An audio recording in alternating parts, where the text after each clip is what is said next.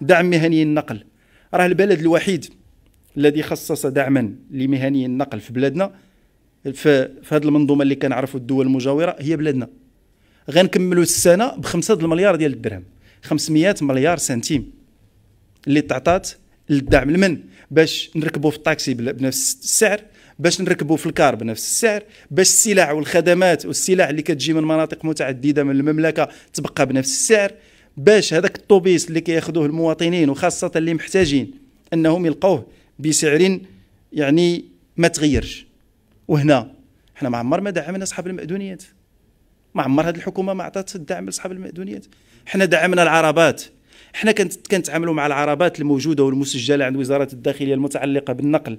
اللي راكم نتوما كتعرفوه ديال الطاكسيات وعند وزارة النقل المتعلقة بالشاحنات وبالنقل ما بين الطرق وبال وبال وبالطوبيسات.